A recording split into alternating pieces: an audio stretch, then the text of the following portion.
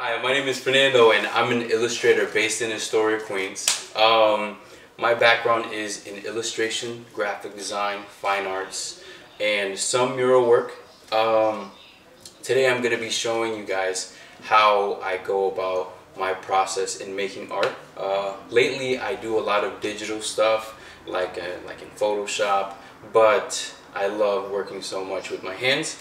And so I'm going to show you how to come up with ideas to make your artwork um, and I'm going to show you uh, the tools that I use um, and the, the, surfaces that I use. I, I paint with a range of different things, markers, pens, um, highlighters even, um, pencils, uh, spray paint, uh, oils, all these things. And as far as like materials, I use um, canvas, paper, uh, wood, anything. Even sometimes I use sandpaper, uh, but I'll show you all these things in just a little bit. All right?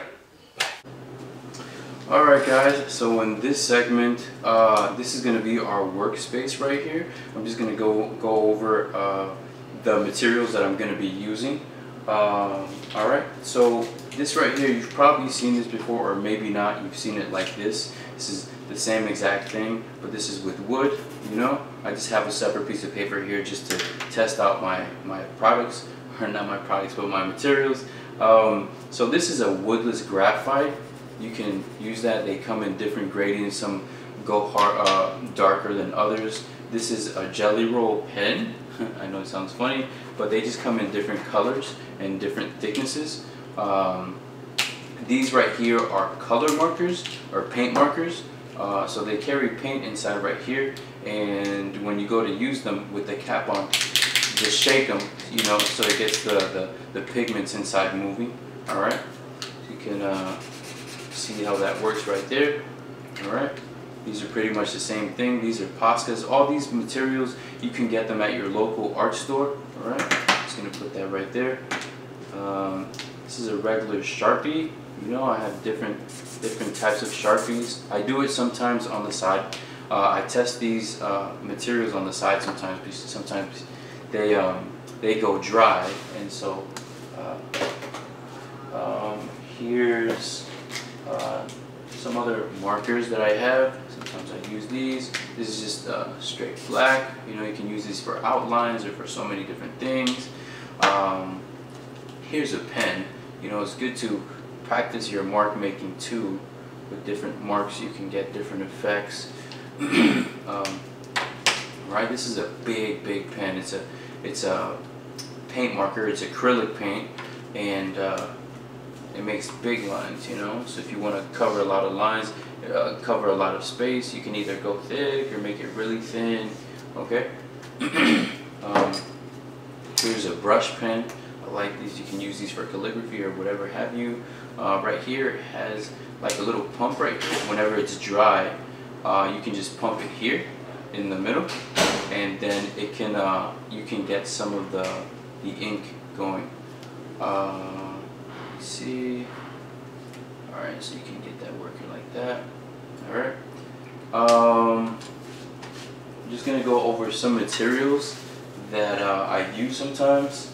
Uh, all right, so a lot of times people they get mail and they just throw it out and I usually do that too but sometimes if you if you flip it inside out you can see like different patterns that you get all right um, and these are just some things that I've collected sometimes. When I do digital art sometimes I scan these and I incorporate this in, into some of the work that I do. Um, and you can use this for like different patterns for either lettering or for shirts or for skirts or for different different things. Um, so yeah, it's good to like keep a folder and and collect these and, and just use them uh, for whatever projects you have. Here's different construction paper that I that I have. Uh, so sometimes instead of of just coloring things in, you can use like these blocks of paper, just cut them out and use them for certain parts in your drawings or or artwork. Here's some a different type of construction paper. Um, yeah, they have these in grade school sometimes, but you can buy these at your local um, art store.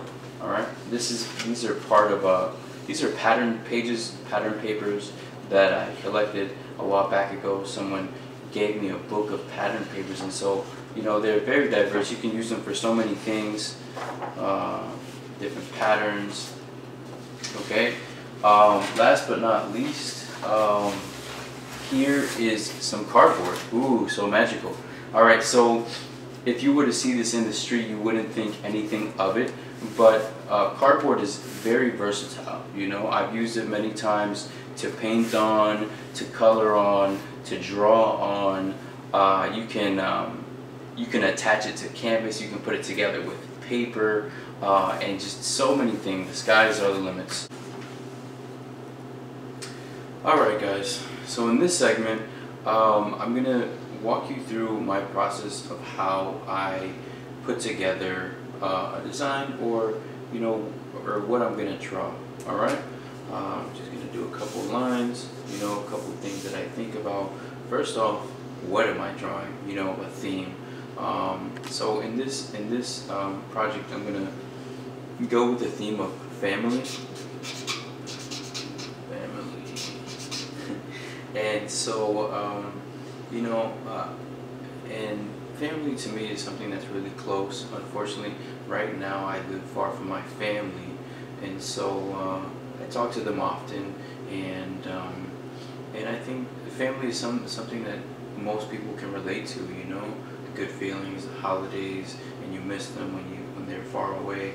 Um, so also when I'm thinking of putting something together, an art piece, I also think about color, you know?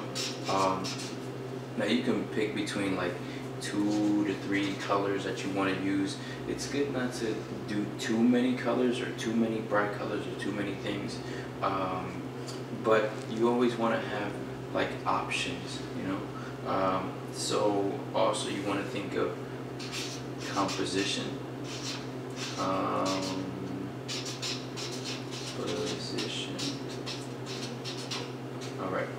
And composition is basically how an image looks on a square or on a surface. You know, you can use that for painting. Um, they use this in this term in photography and videography. People do videos. Alright, and I'll show you what I mean in a little bit. And uh, you want to take into account uh, the materials that you're going to use. Now, right now we're doing this list on, you know, how to put this together, but to be honest, anything can inspire you when it comes to like theme. Um, uh, you can, uh, music can inspire you, people inspire you, things that people say sometimes inspire you to, to create something. Um, and so, yeah. So when we were talking about composition earlier, um, so here's sometimes I do like little sketches um, to pretty much give me an idea, like little samples to give me an idea of what the bigger picture is going to look like, you know?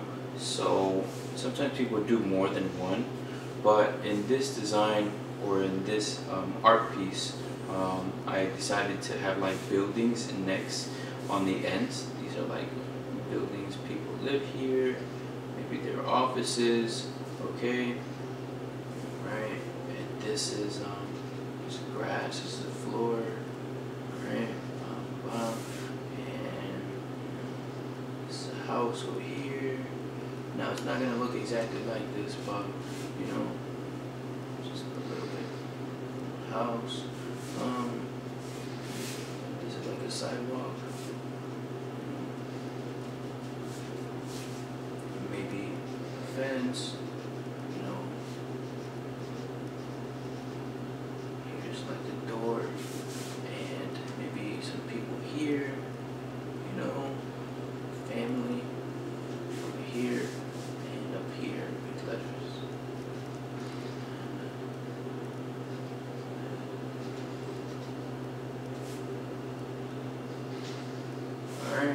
it's not going to be perfect. This isn't going to be perfect. But, you know, it's just a little, um, a little sketch of, of what it's going to look like in the end. Alright? So that's it for this segment of how to come up with ideas or how I come up with ideas um, to make artwork, you know? And sometimes you just start as, as simple doodles, you know, this, and then things come from here as well. You know, there's different, I, I do different um, ways of coming up with things, you know, and things sometimes come out of nowhere, you know. Just drawing whatever comes to my head right now. You know, his nose. You know, he's a guy. He's he's smiling, having a good old time. You know.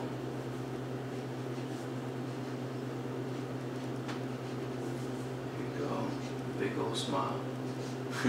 Alright, that's just a quick sketch. Alright guys, so in this segment, um, as I showed you uh, before, this is my workstation. Um, and so I have some sheets of paper here that I've uh, put together, that I've taped together using double-sided tape. Uh, scotch tape, you can get this at your local store.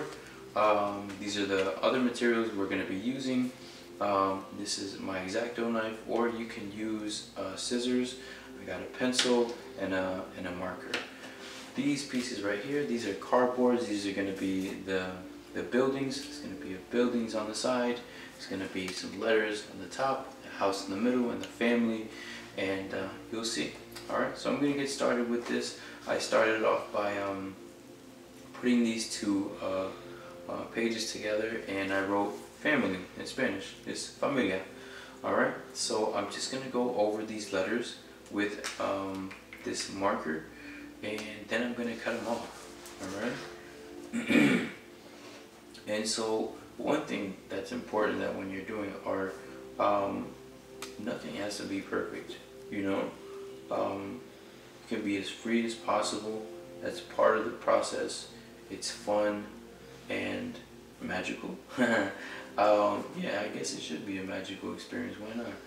Um, it's very therapeutic. You know, I've always been drawing since I was little. I actually started uh, when I was younger uh, with um, coloring books. And so since then I've just been drawing things that I see and and uh, yeah. So besides drawing and illustrating, I like doing letters too, you know. Um, I had a little bit of history with graffiti, so that some of that helps me a little bit with with uh, with these letters. Um, if not, you can always go online and see any different styles of of letters or fonts that you'd like to that you'd like to draw, you know. This isn't necessarily a graffiti style, but this is just my my style, you know. And everyone's gonna have their own style. Some people they're very they want their own style so fast, but a style develops with time, you know and speed comes with time. But never mind that. Your main focus should be to have fun, you know? To have fun. Alright, now we're almost done here. We're almost done, okay? Alright, now with our trusty... Now the reason why I had this in the back, this is a piece of cardboard, okay? Now you, you know you can either you know use it on this cardboard or on this cardboard, but the point is so that when you use this a knife to cut uh, the paper out, um, that you don't mess up the surface, the table that you're going to be using. All right. Um, so I'm just going to do some of this so that you can get the idea of um, how I go about doing things. All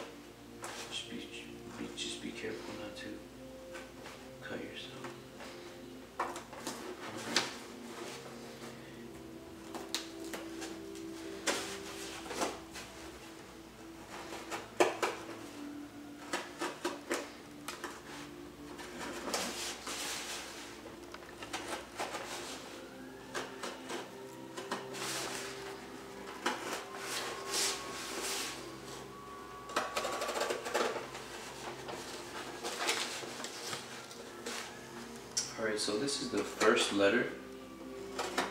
This is the first letter of, uh, of this design that we're working on. Um, just refine it, cut off some little extra pieces. Alright, um, I'm gonna get back to this in a little bit. I just wanted to show you how it's coming along.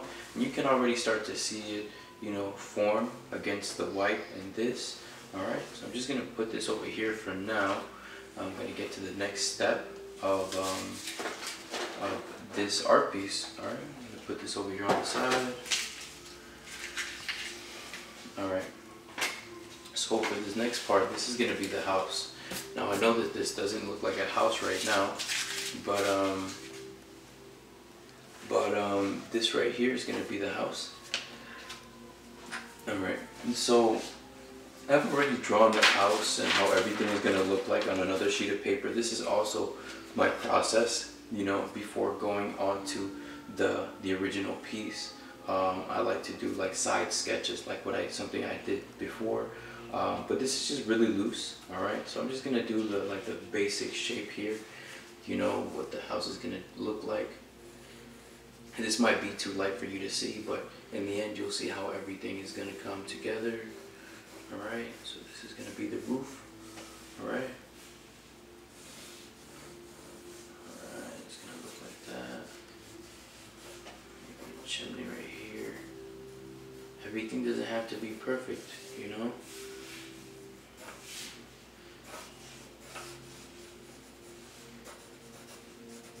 and things and you always want to keep it light you know you want to draw a light just in case you have to erase uh, when I first started drawing I used to draw really dark because um, I don't know I didn't know any better but with time you learn that if you draw light you can always go back and erase alright so that's just that basic shape okay alright guys so um, as I was saying last, this right here is going, to be the house. I know it doesn't look like much of a house right now.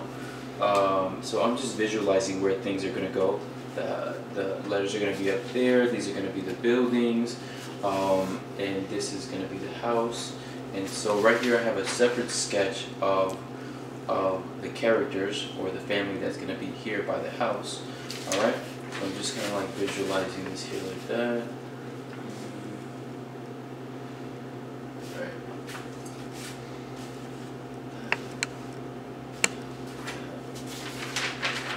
This is gonna go here. There.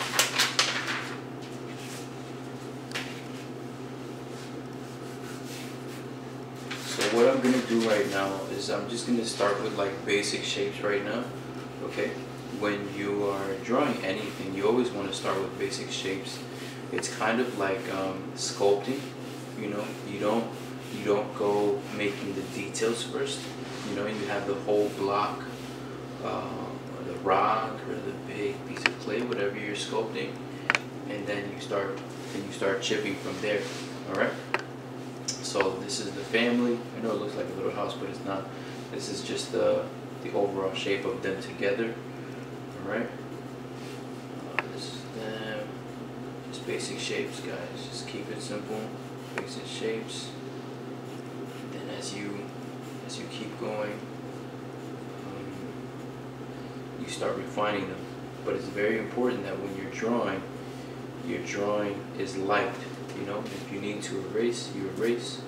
Um, I used to draw when I first started drawing.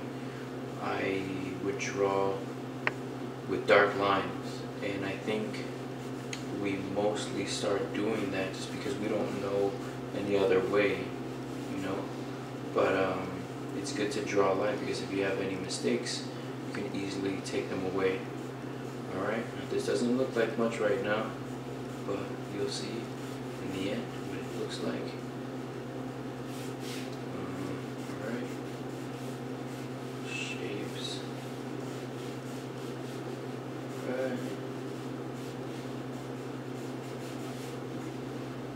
This is the little guy.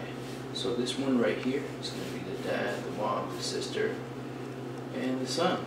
That's me. You know, even though I'm tall, I'm 6'2", I still see my family this way, you know, and I feel like my parents still see uh, their kids as little kids, although we're we're huge now, not too huge, but big enough. All right, so um, the next segment, I'll show you this uh, more clear and more refined. All right, guys, so this is the end result of our project titled uh, Familia in Spanish for family. Um, so right here to the left, you can see these brown pieces are actually buildings, like I said to you before. Um, in the windows, it had like little details, like an air conditioner, or just windows, or just drapes or curtains. Um, over here you can see I have cutouts of, um, of clouds. Um, I drew them out with Sharpies or with markers and then I cut them out. I did the same thing with this as you saw me first doing. This was the house that I first drew out. Uh, I went over it with uh, a marker and just did some details and cut it out. Uh, I added some greenery, some grass, some bushes. And so you see that not everything is like perfectly straight, perfectly lined up. That's just my style and that's how I do things. I have a little fence here and here. Um, the main event obviously is family. Um, here's the father, here's the mother, here's my sister, and me. Um, and so over here's a, a, another building, uh, kind of to close in um, on and to bring more attention to the main focus, which is right here. Um, so basically the theme or the thought behind all this is, you know, um, my family is in a different uh, state. So, you know, when I think about family, I think about good things, you know, and this over here just represents New York in a symbolic way. And uh, yeah, so that's pretty much it. Uh, I thank you guys for uh, watching and I hope that something that you guys learned here you can use or share and apply to your work. And uh, thank you. It was a blast. Bye.